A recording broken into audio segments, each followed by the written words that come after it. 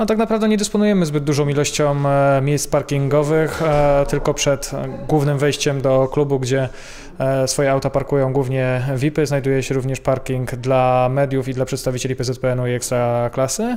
Oczywiście również sędziowie przybywają i dwa autokary, którymi przyjeżdżają drużyny.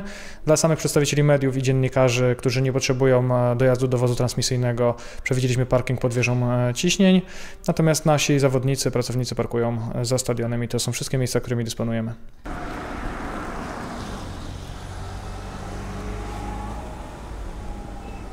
Czy uważa Pan, że tutaj brakuje miejsc parkingowych?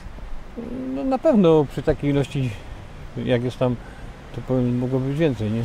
Nawet przy tej drodze, której się po prostu tutaj wszyscy parkują, to mieszkańcy chyba nie są za bardzo szczęśliwi, no bo wiadomo, po prostu yy, dwa razy w tygodniu, we wtorki i piątki nie mają przejścia, zatarasowane, no i po prostu poza tym też, no, no nawet wyjść z domu nie mogą na dobrą sprawę, dlatego że nieraz ludzie tak parkują, że tarasują też wyjazd. No przede wszystkim y, to, że, że jest stadion, a nie ma parkingu, no to to już jest po prostu przede wszystkim skandal. No bo w tej chwili no, każdy najmniejszy market to ma parking y, odpowiedni do, do, do potrzeb, a, a tu stadion i po prostu i każdy ma piechotę wszystkim chodzić. Dlaczego tak długo trzeba było czekać? Parking był, jest jakby drugim etapem realizacji stadionu miejskiego w Gliwicach. On był uwzględniony w pierwotnym projekcie.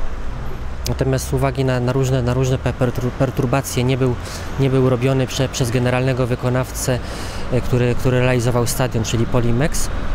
Zosta- Zostało to z różnych względów odłożone na, na później. E, Przystępujemy do tego teraz. Mm, Pracujemy na aktualnej dokumentacji.